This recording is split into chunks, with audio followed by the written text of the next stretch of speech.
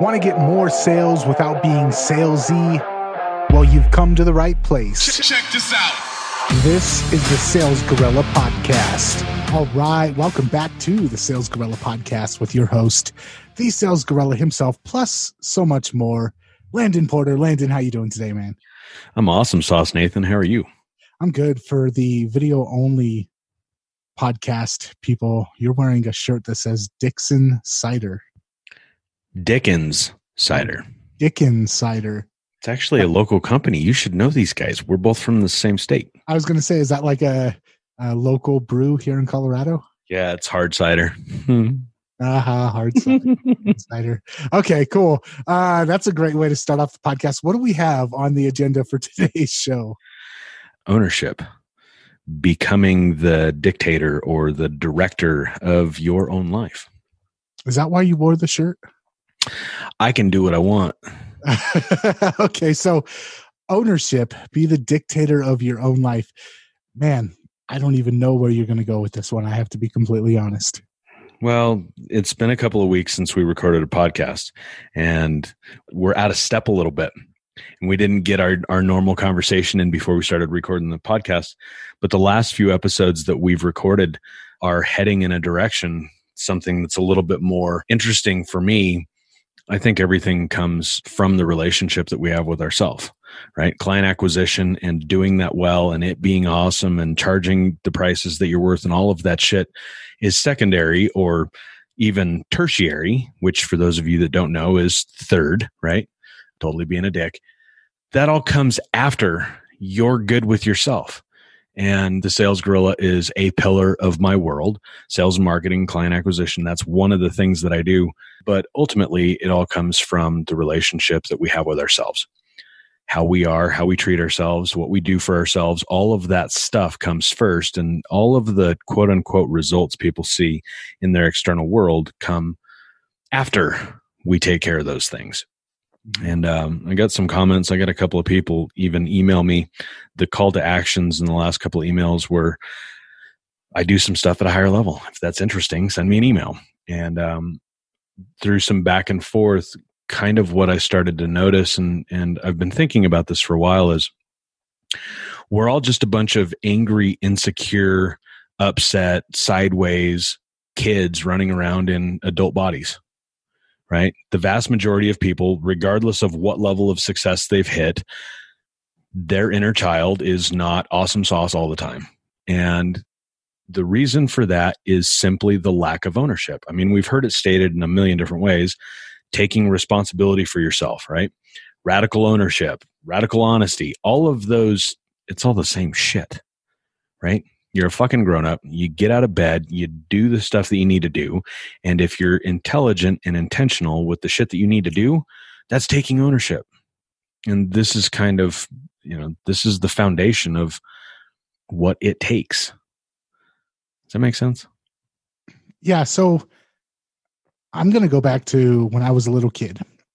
We used to live in California and I had this huge dream of if I could watch Karate Kid enough times or like Three Ninjas enough times that I could do the moves out in the front yard and a Hollywood producer would be driving by as I was practicing my karate out in the front yard.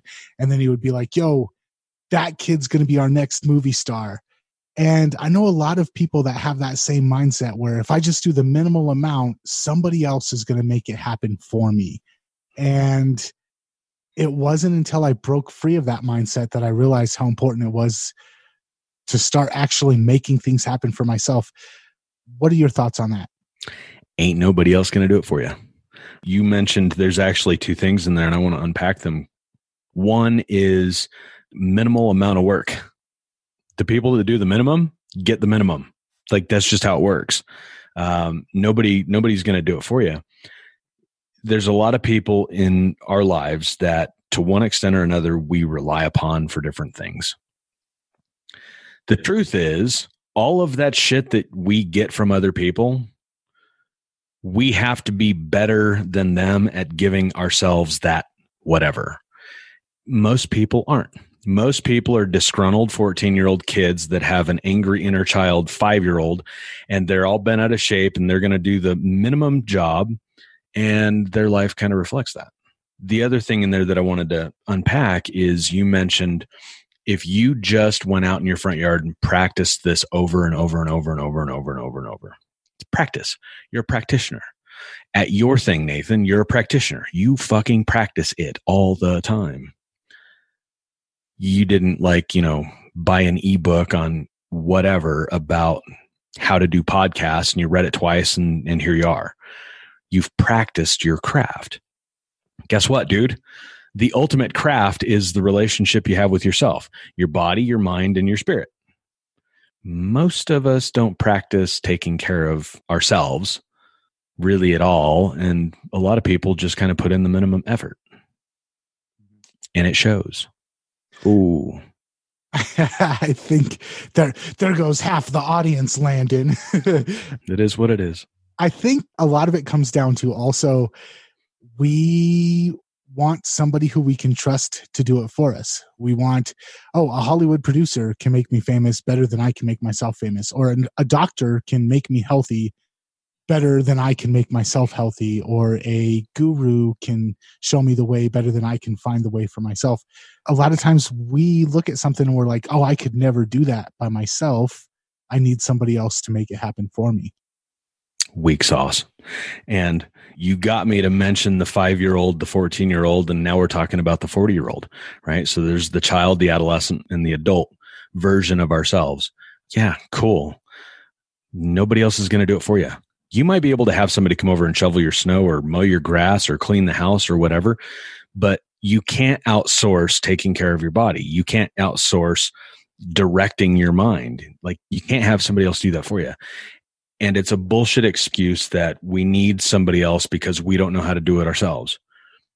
Everybody listening to this podcast has access to Google. Guess what? The knowledge of what to do and how to do it, it's there. You could go learn how to rebuild an automatic transmission out of a 79 full size Bronco on fucking YouTube. Like the info's out there it's the decision and the choice to do what's best for us and then follow through and practice whatever that little bit of information is. A lot of people won't do that for themselves or they do the minimal effort and that just sucks. All right. So you've been listening to this episode. If you like what we do and what we're talking about here, check this out. We're all about getting clients without being salesy. And since I hate prospecting, and I love technology, we've developed a way to get you clients without you having to cold outreach to people and feel all weird about it. You can get that framework by going to thesalesgorilla.com forward slash GAN, which stands for Gorilla Army Nation. Yep, thesalesgorilla.com forward slash G A N. Now back to the podcast. One thing that I've noticed, especially now, you mentioned how much of the information is available that wasn't, I mean, 20 years ago, people would shit their pants looking at how much resources we have at our fingertips nowadays. A lot of times when you first start looking into something, it's this giant thing and you're like that's so difficult. But once you start actually taking steps and once you start figuring out, oh, I can do this. Oh, now I can do this next step. It ends up being a lot simpler than it looks like when we first unpackage this giant new thing that we're interested in. Yeah. The idea that things are hard and difficult and complicated. Like, look, nobody's, nobody's uh, a paper route boy hoping to be a neuroscience doctor thinking they're going to download an ebook from the internet, watch a couple of YouTube videos and go do surgery on somebody's brain. Like, duh.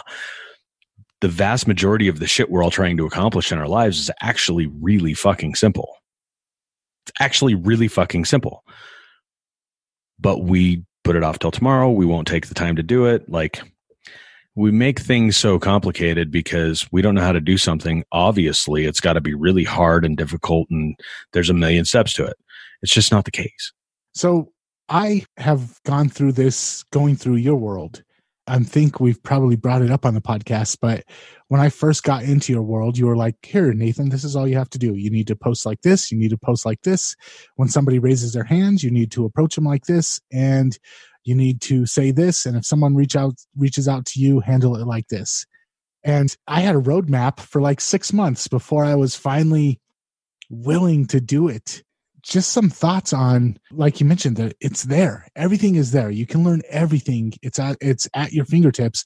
But so many people still, even if they have the drive and the desire and the resources and, and the information, they still just don't. Scared.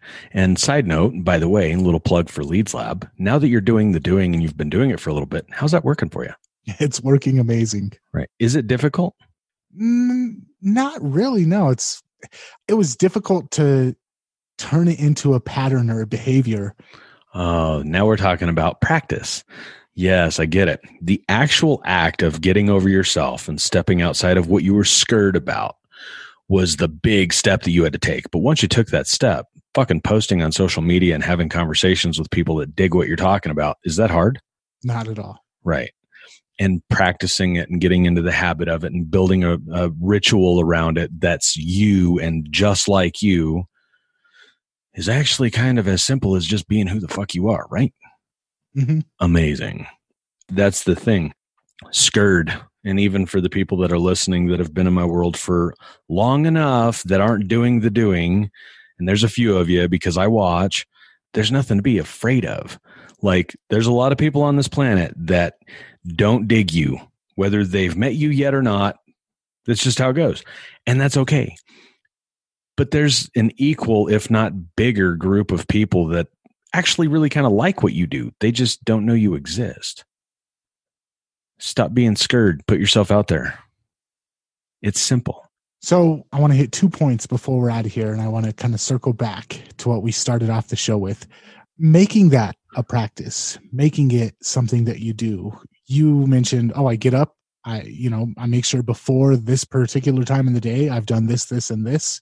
What are your thoughts on people that have all that knowledge and they just still haven't taken that step and, and turned it into behaviors? Well, either they actually don't want what they said they want, or they're scared.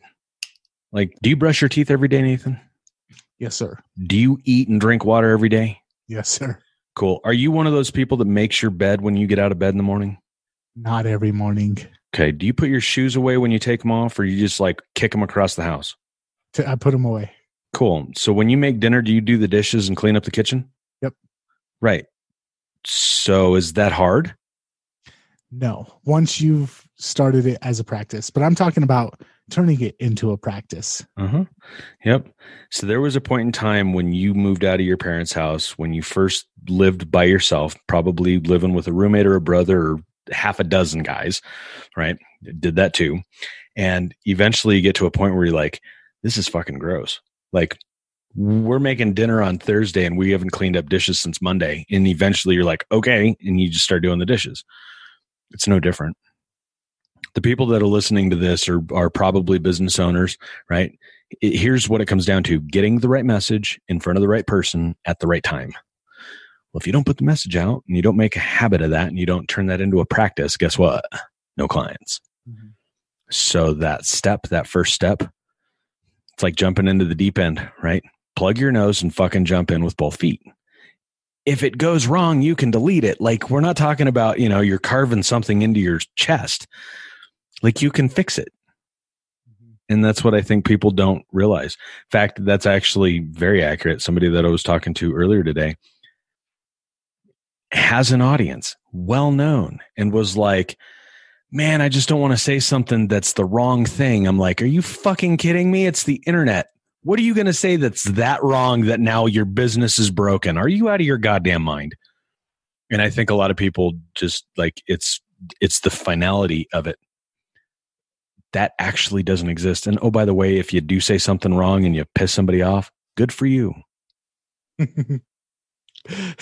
so he, I think what all of this really comes back to, and just to bring it full circle, is in about 80 to 90% of your life, we do have the power to mold our own existence, mold our own destiny, and say, hey, I want to do this. I have the ability to figure out how to do it. All I have to do is do it, but I have to change a couple of things in my life Mm-hmm. I just want to get your final thoughts on that as we're out of here. The bottom line is it's a choice and we all have a choice. And there's two categories that we make choices around shit that we're interested in and things we'll actually commit to. And generally, that latter category is a much smaller category than the former. We're all interested in all kinds of things. What are we actually going to buckle down and commit to? That's what it comes down to. Nice. Okay. For the people that were listening to this and they want to find out more, where can they go to get more of Landon Porter and your whole thing? And my whole thing. The whole thing can be found currently on Facebook. Hint, hint, wink, wink. Currently on Facebook. Okay. And until next time, if you want more, check out salesgorillapodcast.com and we'll catch you later, man. Peace out, Cub Scout.